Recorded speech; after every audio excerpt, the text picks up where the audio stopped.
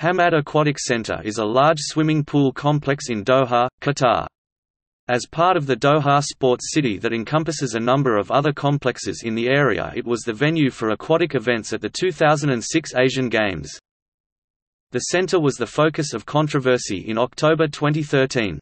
That month, Israeli swimmer Amit Ivry finished second and won a silver medal in the women's 100-meter mixed individual medley at the FINA Swimming World Cup in swimming at the center, breaking the Israeli national record at 58.43 seconds.